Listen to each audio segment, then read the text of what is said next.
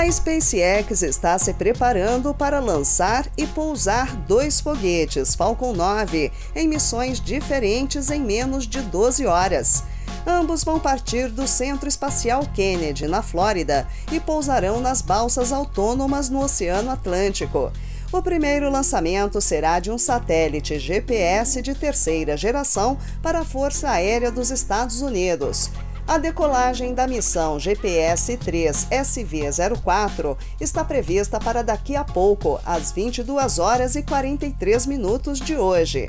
A segunda missão é a Starlink 12, o 13º lançamento da constelação Starlink, que já foi adiado quatro vezes. Mas, ao que parece, desta vez vai dar certo. A decolagem está programada para as 9 horas e 34 minutos da manhã deste sábado.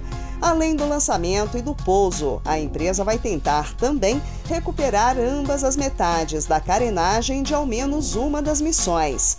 As peças avaliadas em 6 milhões de dólares protegem a carga na ponta do foguete e podem ser reutilizadas em missões futuras.